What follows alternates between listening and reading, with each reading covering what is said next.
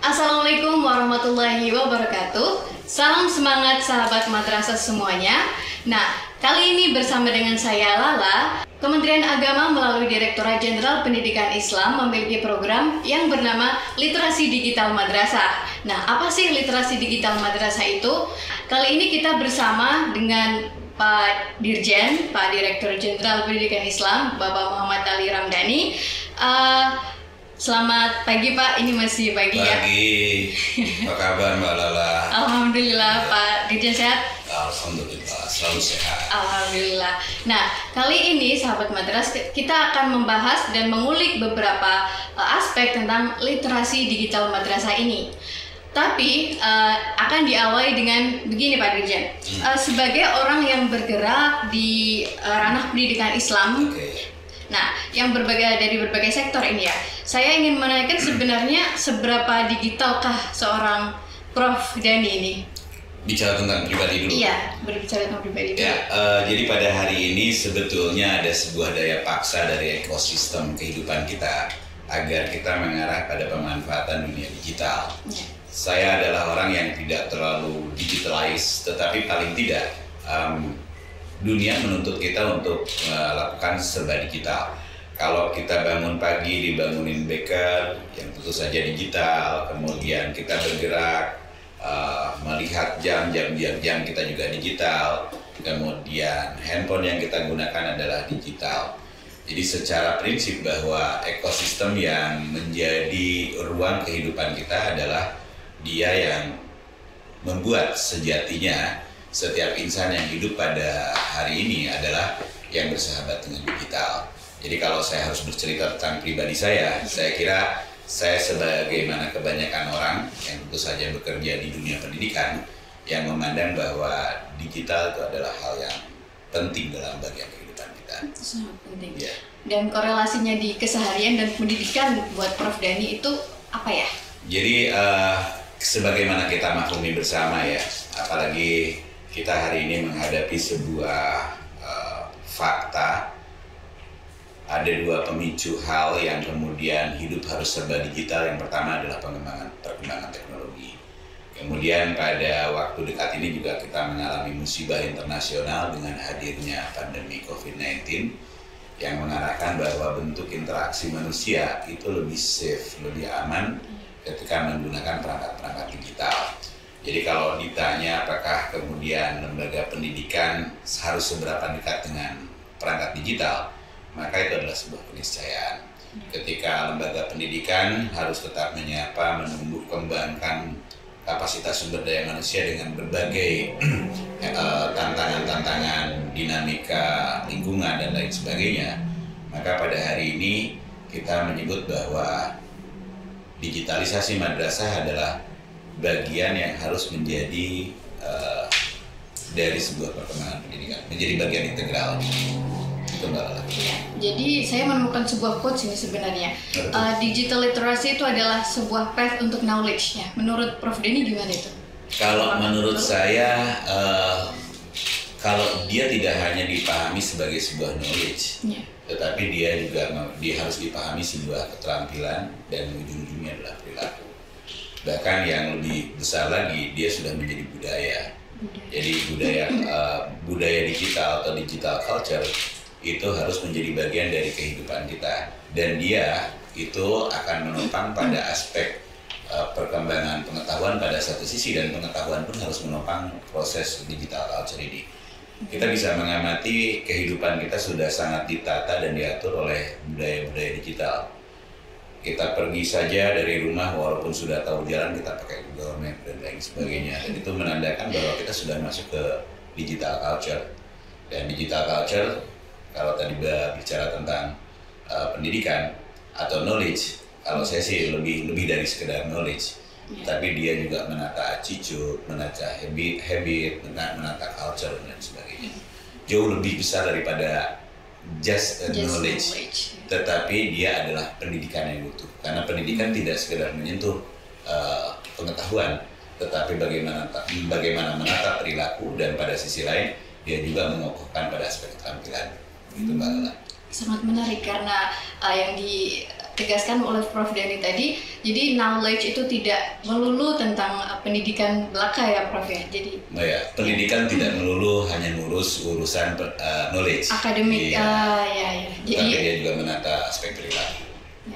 Ya mungkin uh, madrasah juga sudah dikenal seperti itu ya karena uh, madrasah itu dikenal tidak hanya membentuk atau mendidik saja tapi untuk uh, membina attitude dari siswa-siswa madrasah betul prof? Ya setuju mbak. Setuju sekali. Uh, bicara tentang digital itu pasti tidak lepas dari internet prof. Yeah, ya. Oke. Okay. Nah uh, menurut prof Dani ini bagaimana perkembangan uh, internet di Indonesia secara umum secara seluruhnya? Jadi kalau perkembangan internet ya, dia kan menjadi bagian dari tadi uh, budaya masyarakat dan lain sebagainya.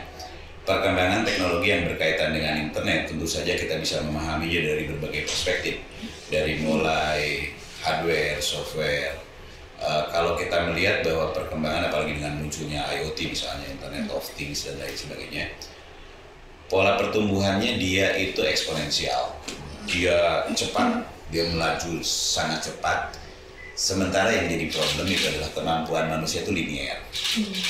Linier sehingga titik temu antara kemampuan daya adaptasi manusia terhadap teknologi dengan perkembangan teknologi membuat kemampuan manusia tertinggal. Maka pada hari ini saya ingin berpesan pada kita semua termasuk saya bahwa ketika kita ingin hadir menjadi pewarna dari sebuah dinamika zaman, maka tidak boleh lagi kita melakukan upaya-upaya biasa saja. Jadi dalam bahasa lain, average is over. Yeah. Kita harus melakukan ikhtiar-ikhtiar extraordinary dan kita harus melakukan percepatan proses pembelajaran dan hal yang penting bahwa di dalam kaidah pendidikan kan ketika ekosistem pendidikan itu dibangun dalam sebuah budaya tertentu mengetuk tularkan itu lebih cepat Hmm. Maka kita ingin membangun ekosistem di pesantren, ada di madrasah juga, yang ekosistem yang selalu selaras dengan perkembangan, uh, termasuk di dalamnya adalah perkembangan uh, internet. Ya. Jadi melampaui dari perkembangan internet saya kira rumit, tetapi paling tidak menyeimbangkan keterampilan kita pada hari ini uh, untuk senantiasa berada pada aras dan dinamika zaman menjadi bagian inti dari hal yang kita bicarakan tadi. Ya. Jadi uh, untuk jadi kan bagian inti dari uh, sebuah mungkin internet karena bagian dari hmm. sudah digital gitu ya. Uh, kemudian uh, selanjutnya mengenai budaya, budaya, budaya digital, budaya internet di hmm. Indonesia. Itu gimana, Prof? Kalau budaya digital itu kan karena dia sebetulnya kan dunia maya itu tidak jauh berbeda dengan dunia kita ya, penuh dengan etika dan lain sebagainya. Nampaknya uh, yang harus diperkokoh dalam pembuat pembangunan digital culture di Republik ini adalah uh, bagaimana membangun etika-etika di saat tidak boleh berkata bohong, kemudian tepat waktu, tepat janji, menampilkan integritas-integritas manusia sebagai manusia sebagaimana dia di dalam kehidupan nyata itu nampaknya perlu diperkokoh dan diperkuat. Jadi uh, bagaimana berinternet secara sehat, secara bijaksana itu harus menjadi bagian yang tidak terpisahkan dari keinginan besar kita untuk membangun digital culture, yeah. apalagi pada dunia pendidikan khususnya di madrasah. Yeah uh, menarik sekali dan uh, itu sekarang menyentuh ranah selanjutnya yaitu esensi dari salah satu esensi dari literasi digital ini adalah uh, memperkenalkan aturan-aturan dan etika budaya ber, uh, digital saat ini. Nah, sebenarnya menurut Prof Dan ini uh, fungsi dari aturan-aturan itu apa? Jadi etika itu pada dasarnya adalah menatuh, menata hak dan kewajiban ya. ya. Secara proporsional, secara adil kita memperlakukan sama halnya di kehidupan nyata jadi secara prinsip bahwa adalah hak orang untuk memperoleh kebaikan dan kebenaran, kewajiban orang untuk mencerdaskan sesamanya. Uh, tapi lepas dari persoalan apa pun ya, uh, kalau etika itu menata, saya ingin bicara pada hal yang lain. Bahwa pada hari ini madrasah melakukan sebuah percepatan melalui madrasah cakap digital. Jadi kalau kita mencoba merunut pada ruang-ruang berpikir filosof-filosof atau pemikir-pemikir dulu. Paling tidak kita pernah menemukan salah satunya adalah Charles Darwin di mana dia pernah menyampaikan bahwa is not a strong species that that survive. Nor the most intelligent but the the ones most uh, responsive to change. Jadi bahwa manusia manusia atau makhluk makhluk tidak ada yang mampu bertahan hidup di dalam sebuah sebuah dinamika zaman termasuk dia yang paling cerdas kecuali dia yang selalu uh, mampu beradaptasi selalu membaca dinamika zaman untuk meluruh menjadi bagian dari dirinya. Bahkan kalau kita mencoba merujuk dari Albert Einstein, dia menyatakan bahwa orang yang paling pintar itu adalah orang yang selalu menyapa perubahan, selalu hadir di dalam perubahan. Dan ketika kita melihat pada konteks madrasah, maka ada baiknya juga kita mengutip satu pemikiran yang luar biasa dari Sayyidina Ali Karamallahu wajah yang pernah menyampaikan dalam terjemahan bebasnya adalah didiklah anakmu sesuai dengan zamannya. Nah, dengan dengan alasan-alasan seperti itulah kemudian uh, madrasah tidak sekedar membangun eh, pengetahuan-pengetahuan yang sifatnya statis atau lawas, tetapi dia juga hadir untuk me menata masa depannya. Jadi dia hadir juga dengan model pendidikan digital.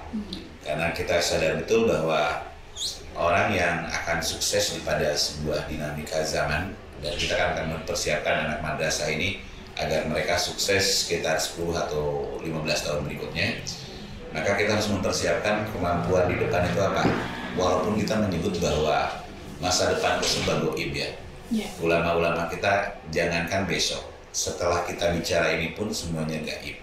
Tetapi kalau kita mencoba menangkap apa yang disampaikan oleh Abraham Lincoln misalnya, the, the best way to predict the future is create it. Create the iya, future. Iya. Yeah, yeah. Jadi begini maksudnya, bahwa kita ingin memberikan jaminan bahwa anak madrasah ini menjadi pelaku, menjadi pemilik pada sebuah dinamika zaman dan caranya satu, ciptakan mereka memang mampu di situ dan ketika bacaan kita melihat ada sebuah fenomena digitalisasi itu menjadi masa depan kita, maka kita harus membuat sebuah impian-impian tentang masa depan itu. Dengan cara melakukan ikhtiar-ikhtiar agar mereka selaras dengan dinamika zamannya dan bercerita tentang mimpi Mbak Lala. Saya ingin memesankan pada kita semua bahwa janganlah mimpi dalam keadaan tidur Sebab kalau kita mimpi di dalam keadaan tidur, setelah kita terbangun, maka semuanya hilang. Hmm. Tapi bermimpilah dalam keadaan sadar. Bermimpi dalam keadaan sadar, kita punya cita-cita, kita melakukan ikhtiar-ikhtiar melalui milestone-milestone yang terukur, yang terarah, uh, itu akan menciptakan sesuatu hal yang jauh lebih besar daripada sekedar anda atau kita bersama mimpi dalam keadaan tidur. Kalau mimpi dalam keadaan tidur, pas terbangun loss semuanya hilang. Tetapi kalau kita menata dream itu kan banyak orang yang menyebut bahwa dia adalah juga cita-cita. Cita-cita ya. mimpi juga adalah cita-cita. Dan uh, kita membangun visi misi kemudian keadaan sadar dan saya selalu diingatkan oleh banyak pihak bahwa di dunia ini tidak ada superman yang ada adalah super team maka kita perlu melakukan kolaborasi sinergi dengan seluruh stakeholder pemangku kepentingan. Eh, para guru juga kita perlu update karena dia yang membangun ekosistem. Pada sisi lain pada sisi tusi ketika kita menyadari ada bentuk kelemahan diri kita maka Kementerian Agama khususnya Direktorat Jenderal Pendidikan Islam juga melakukan kerjasama dengan teman-teman di Kemkominfo. Hmm. karena mereka lebih punya sumber daya, mereka lebih punya modul. Jadi kan kan kalau pengembangan pendidikan itu harus ada modul, model dan modal.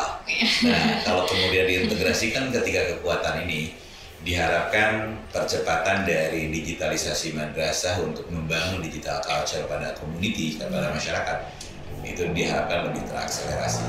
Gitu Mbak Lala sangat menarik sekali dan uh, kata kunci yang saya dapat di sini adalah jangan bermimpi jangan hanya bermimpi saat tidur tapi saat sadar karena we can act kita bisa yes. uh, merealisasikan yes. uh, dream kita itu ya Pak Dirjen iya, ya ya gitu uh, sekarang kita bicara tentang literasi digital madrasah secara khusus nih Pak. Okay. Uh, jadi sebenarnya ini tuh program ini ditujukan atau difokuskan untuk siapa, kalangan siapa gitu? Apakah siswa atau kalau kita bicara tentang ekosistem, ya. maka semua komponen harus didigitalisasi. Semua komponen. Di, kita harus mendigitalisasi dari mulai sistem manajemennya, dari proses pendaftaran, proses pembelajaran, digitalisasi. Kalau subjeknya orangnya, maka yang harus digitalisasi itu pertama tenaga pendidiknya, ya. guru-gurunya, tenaga kependidikannya, para administratornya, dan tentu saja fokusnya adalah uh, membangun kemampuan digital bagi anak-anak madrasah. Hmm. Tetapi dia tidak boleh terpisah, semuanya karena ada ekosistemnya. Ekosistem. Jadi bagaimana kemudian orang belajar sesuatu hal sementara ekosistemnya tidak mendukung. Ya. Jadi komprehensif kita menyentuh seluruh subjeknya itu adalah seluruh dari perangkat madrasah dan kita juga harus menghadirkan bagaimana kita cerita tentang digital culture kalau di sekolah tersebut misalnya black spot area misalnya ya. Itu kan ngeri yeah. ya ya sama halnya orang mengajarkan sesuatu hal tanpa alat ya. Nah, dia tidak akan memahami mengajarkan kereta api tidak tahu kereta api mengajarkan telur tidak pernah lihat telur dan ya kayak begitu menyuruh apa mengajari bersepeda tapi menyuruh menerbangin pesawat terbang iya. sering bang iya. gitu mengajari pakai sepeda tapi sepedanya nggak kenal gitu kan iya iya iya oke okay.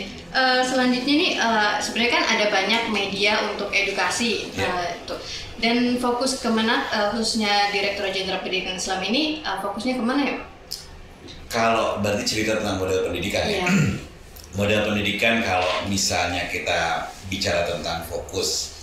Fokus ini terintegrasi ya. Jadi kalau kalau kita bicara tentang digital culture maka tidak boleh kita bicara sepenggal sepenggal misalnya. Yeah. digital culture hanya diajarkan pada mata pelajaran TIK misalnya. Tetapi dia juga harus diajarkan pada bidang fikih misalnya. Bagaimana mencari hadis-hadis uh, secara cepat bagaimana membaca Quran melalui Quran digital dan lain hmm. sebagainya. Jadi ya, dia dibangun dari seluruh aspek dan media yang digunakan adalah seluruh media, seluruh media, seluruh perangkat dari mulai pros uh, bahan belajarnya, bahan ajarnya, termasuk juga mereka perlu diajarkan tentang hal-hal komunikasi publik ya. Hmm. Ya seperti ini, kalian juga perangkat-perangkat yang bisa jadi digunakan proses pembelajaran ya. Jadi lebih ke fokusnya itu lebih ke sebenarnya integrasi dari semua gitu. Iya, kalau media semuanya semua media kita pakai digital kalau bisa ya. Iya. Walaupun penuh dengan keterbatasan. Jadi papan tulisnya sudah papan tulis digital, kemudian terakses dengan baik kelasnya ketika dia ingin bercengkrama, menelisik tentang sebuah fakta, sebuah definisi tidak sekedar apa yang diajarkan oleh guru tetapi bagaimana kemudian dia melihat definisi-definisi lain menurut pakar-pakar lain yang bisa di search melalui engine search ya. Misalnya definisi tentang pendidikan menurut undang-undang begini, menurut Wikipedia begini, sehingga anak menyimpulkan sendiri. Saya teringat dengan satu hal yang pernah disampaikan oleh uh, Jack Ma ya, dia adalah uh, eh, CEO dari Alibaba. Dia menyampaikan bahwa in the future is not about the competition of knowledge, it's a competition of creativity, competition of imagination, competition of learning dan competition of independent learning. Jadi kita harus membayangkan bahwa dunia ke depan itu unik ya. Hmm. Kalau kita di dalam kesejarahan hari ini, ya, bukan sejarah hari ini, fakta kontemporer, tidak pernah terpikir ada seorang pengusaha taksi yang tak punya mobil, hmm. pengusaha ojek yang tak punya motor, pengusaha hotel yang tak punya properti hotel hari ini kita hadir Grab, Gojek, Agoda dan lain sebagainya. Izin mohon maaf saya menyebut merek. Tapi mereka itu adalah kalau dulu kan majikan itu membayar iya. pekerjanya. Kerja. Sekarang rekonstruksi sedemikian rupa sudah tidak punya motor, tidak punya mobil, tidak punya hotel, tetapi pemilik ini malah disupport oleh Bayangkan seorang atasan dibayar oleh bawahan, dia tidak boleh punya properti apa pun. Jadi ke depan itu kompetisi itu bukan sekedar di knowledge, tetapi dia creativity, imagination, proses pembelajaran dan lain sebagainya. Dan saya ingin menyampaikan pada kita semua, uh, dunia masa depan adalah dunia pembelajar. Jadi ada sebuah nasihat dari orang tua saya yang selalu saya ingat.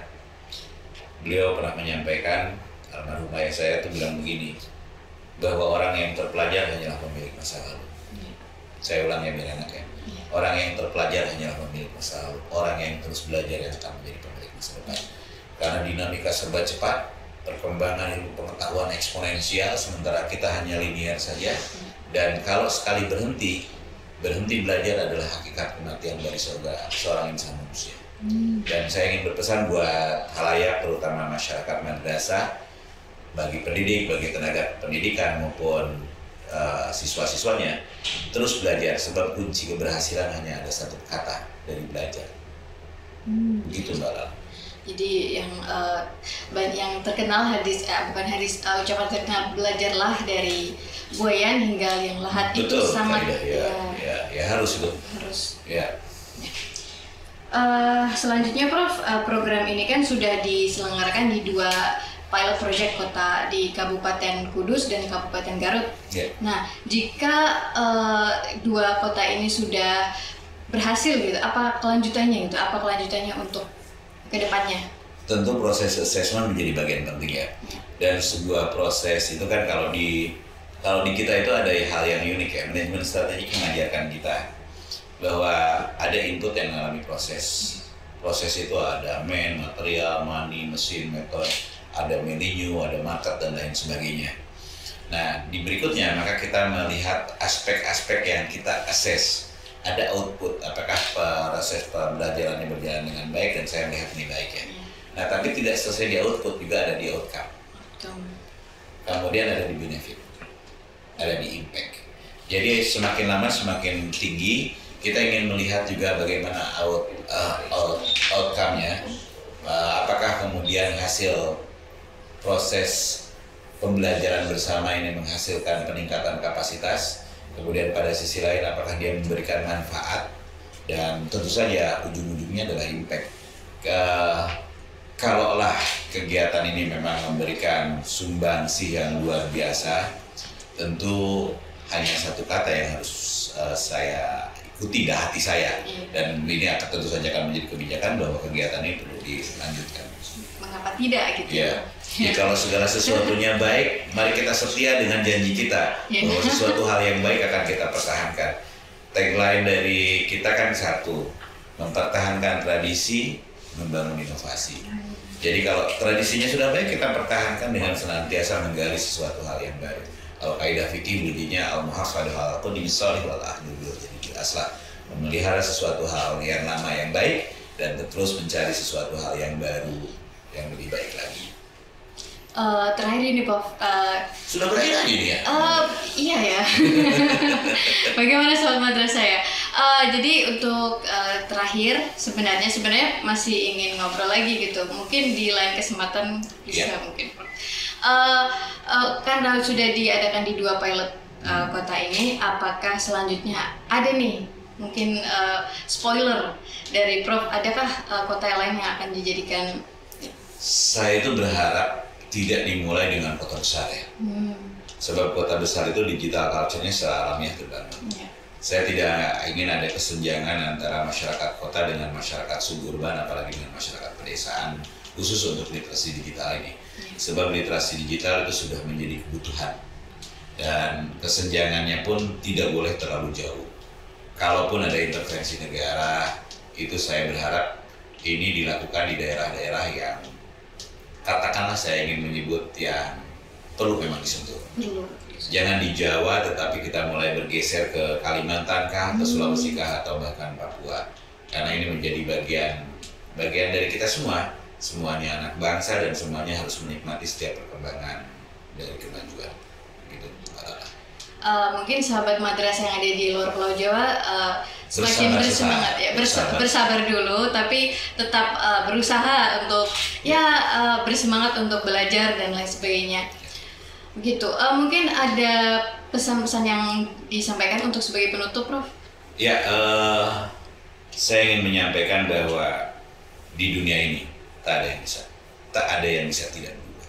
Tak ada yang bisa. Tak ada yang bisa tak berubah. Bahkan banyak orang misalnya menyebut IQ tak mungkin berubah.